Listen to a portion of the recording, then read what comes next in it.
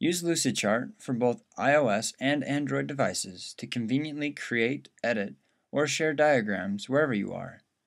Start by logging in to lucidchart.com from any browser and open a new document. Tap the Shapes icon to open your library of objects and images, and tap Edit to manage which shape libraries appear in the toolbox.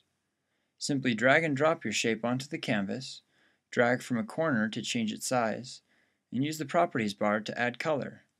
You can also change the border color and thickness, as well as your text alignment, style, color, size, and even font.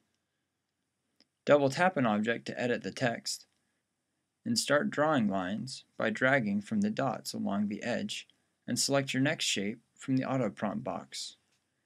Click the freehand icon to quickly draw the most common shapes including process and decision blocks, circles, actors, swim lanes, and many others.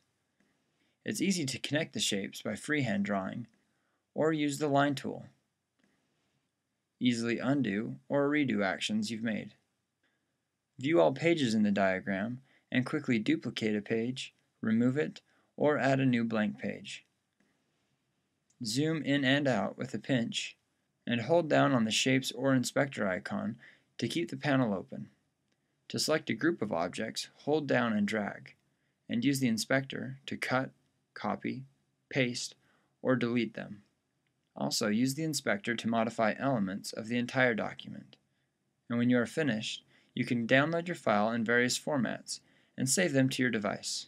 Or start collaborating by sharing them with an email invite or generating a link.